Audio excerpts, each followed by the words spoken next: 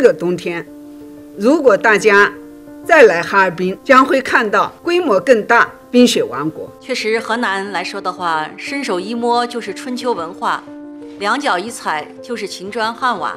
我们常说，左手一直是太行，右手一直是吕梁。电视剧《我的阿勒泰》，呃，我体会呢，这部电视剧之所以打动和吸引关注。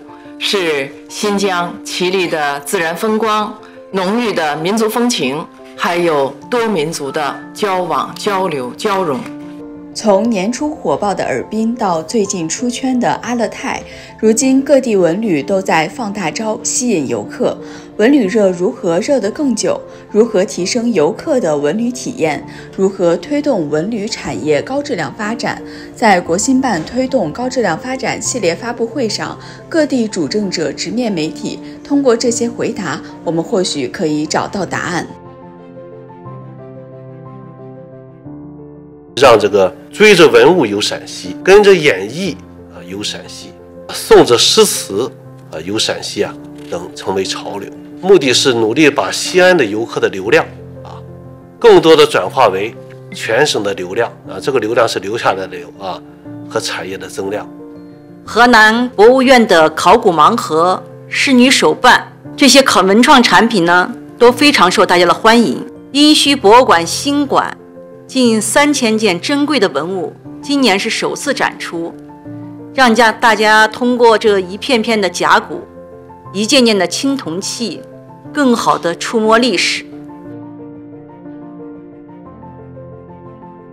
云南是一个可以让时间慢下来的地方，你可以捧一杯咖啡，泡一壶普洱，我们。正因地制宜地发展乡村旅游、康养旅游、跨境旅游、体育旅游、研学旅游等业态，不断创新旅游产品的新供给，更好满足游客高品质、多元化的需求。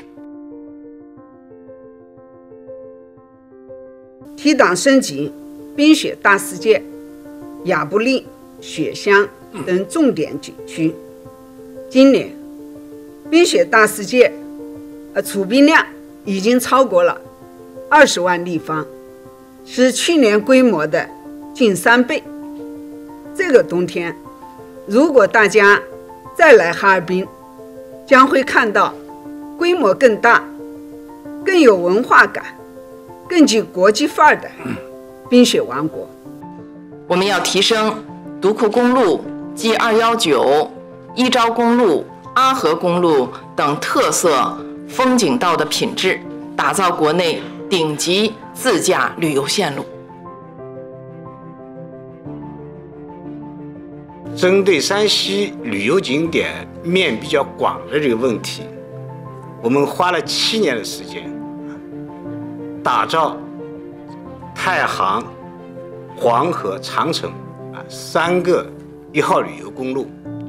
总长是一点三万公里，到今年年底啊会全面建成。我们也热诚的啊，就欢迎大家走进啊表里山河，尽享美好生活。修路架桥，完善快旅慢游的交通体系和旅游接待的配套设施。比如讲，今年川青铁路。城隍段建成通车后啊，成都到九寨沟的通行时间从十个小时啊会压缩到三个小时。早上都江堰，下午九寨沟将变为现实。我们坚持以游客为中心，全力建设旅游诚信省，着力提升旅游服务设施的现代化、管理的智慧化和内容的人性化水平。